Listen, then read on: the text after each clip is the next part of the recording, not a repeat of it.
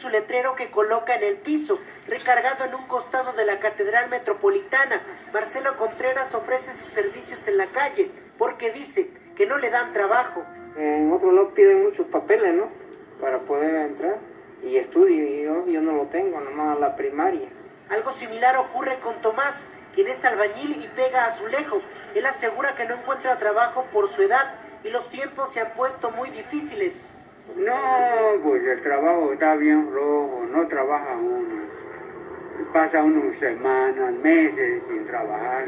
Ellos son un ejemplo de cómo México llega a otro día del trabajo, con un déficit de millones de empleos. Tan solo el año pasado, el número de desempleados se elevó 31.3% respecto a 2019. Esto debido a la crisis que dejó la pandemia de COVID-19.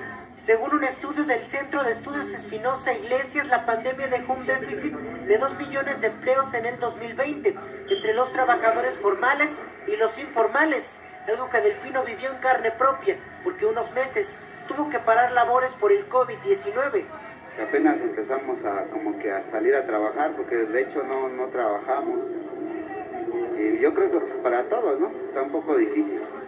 Mientras tanto, los datos reflejan una lenta recuperación en la economía mexicana, que creció apenas 0.4% en el primer trimestre de 2021, en comparación con el trimestre precedente. Una realidad que, como dice Marcelo, Tomás y Delfino, se vive a nivel de calle. En México, Víctor Silva.